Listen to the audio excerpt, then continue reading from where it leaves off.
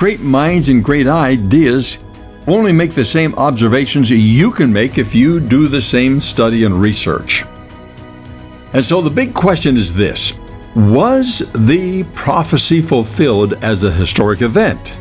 If so, then most scholars do not even address this. When, when you read Bible commentaries, no one even brings it up. You know why? For them, either it's not an issue, or they, like myself, did the research and discovered there's nothing adequate to make that declaration. And so they remain silent. Join us for this episode of Faith Walk. Watch or listen by going to faithwalk.org.